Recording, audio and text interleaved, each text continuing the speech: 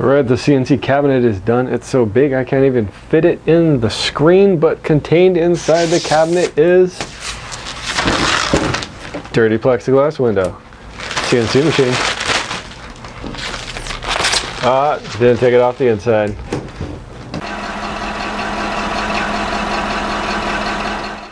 Alright, so let's take a closer look at what we've got going on here. Or actually, a farther look, because the thing is huge. Let's get on the other side of the room here. So we got a shot of my messy workshop because I was building this thing. As you can see here, it is pretty tall. It goes almost all the way to the ceiling. It is almost 8 feet tall.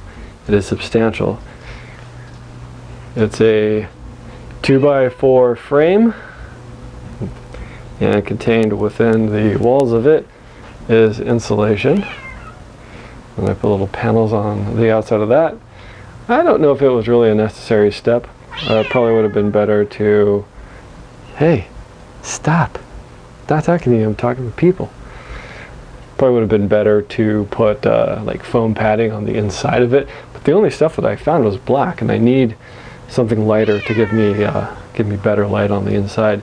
And then up here top side, I'll give you a better look at this in a second. This is the uh, dust containment system, the vacuum, and the hose for that pops out right in here. And we'll drop down and plug into the machine with that dust boot that's hanging out right there. Okay, way. Okay, I can't do that one-handed. Then we have plexiglass doors here that are mounted to your basic hardware store clickety click things. That's a little drawing that I did with a pen when I first fired it up. And then there's storage underneath. I've got my new bandsaw. And let's go look at the top. All right, so top side here, I've got plexiglass installed as well with magnets. And inside is a vacuum system that installs onto the top of a bucket and this might be something that I'm going to have to redo but you can see it's a two inch shop vac hose that goes into a one and a quarter draws through this entire bucket and then about five feet of hose those of you who know anything about suction and vacuuming will know that that's probably not enough power to do a really effective job um, this was able to vacuum up stuff pretty easily. So I'm going to run it with the machine, see how it does. If I don't like it, I'm either going to decrease the volume of that bucket, create a little disc and drop that in there to essentially uh, minimize how much space that's actually having to draw through, or I'm just going to have to replace that with a bigger vacuum. And as you can see on the inside, it is insulated, and I will show you guys a sound test in a second here to see if all this stuff was futile or not. And then on the side here, I have got a router speed control motor that is hooked up to the vacuum to control it. And then this two-way toggle switch basically turns it on or allows you to turn that down. And then all the wiring runs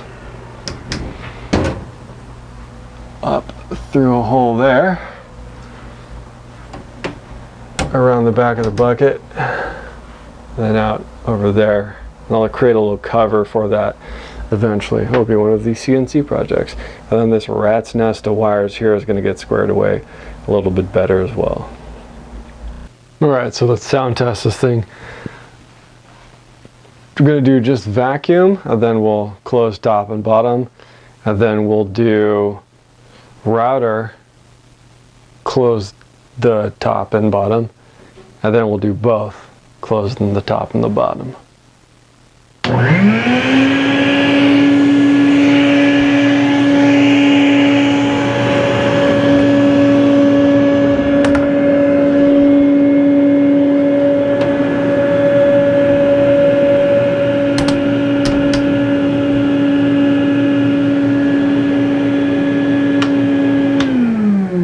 not bad.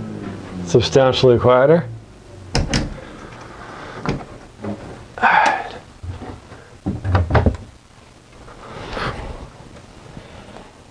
Let's kick the router on. I'll do a mid RPM.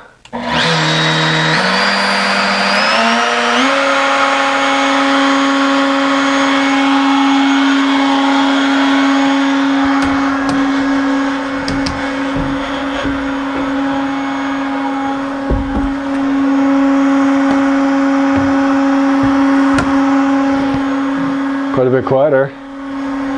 Turn it down.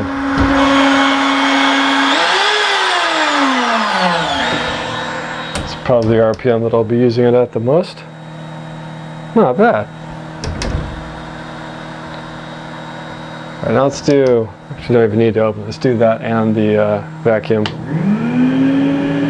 It's not bad. I'm talking at a normal volume right now and it's really not unbearable. And to turn the RPMs down on this, drones a little bit, but not too bad. Substantially better than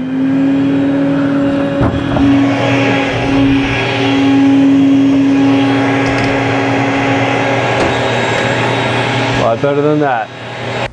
Then for then for lighting, I elected to go with these just your basic uh, Home Depot shop lights joined together with a common cord, then power switches in the back.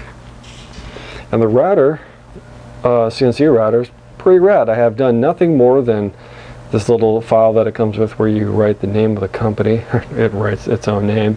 Um, but it's cool. It went together much easier than I anticipated.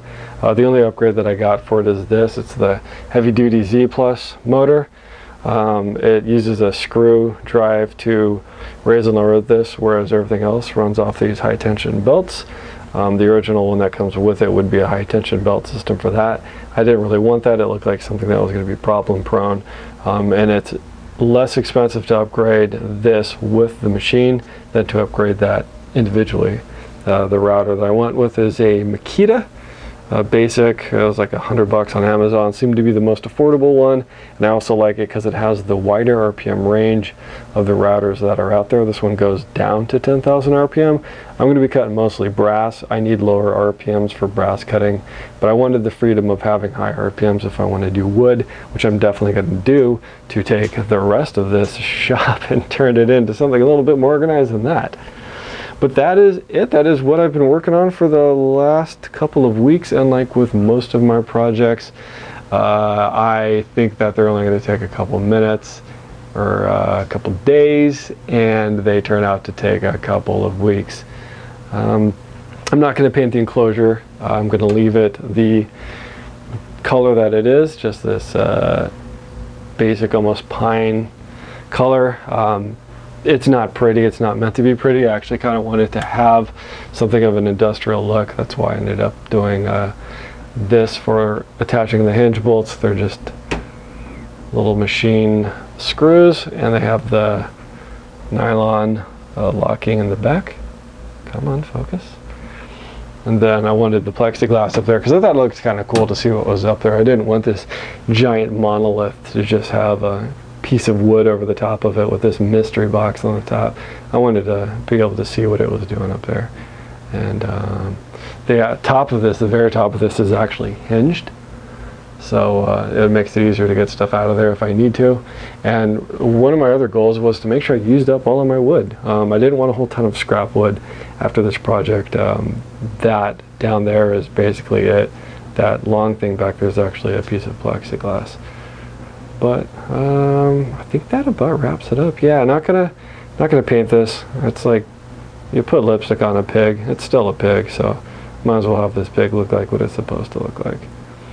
Uh, next videos, I will start using this thing, start cutting out some stuff to make this more organized.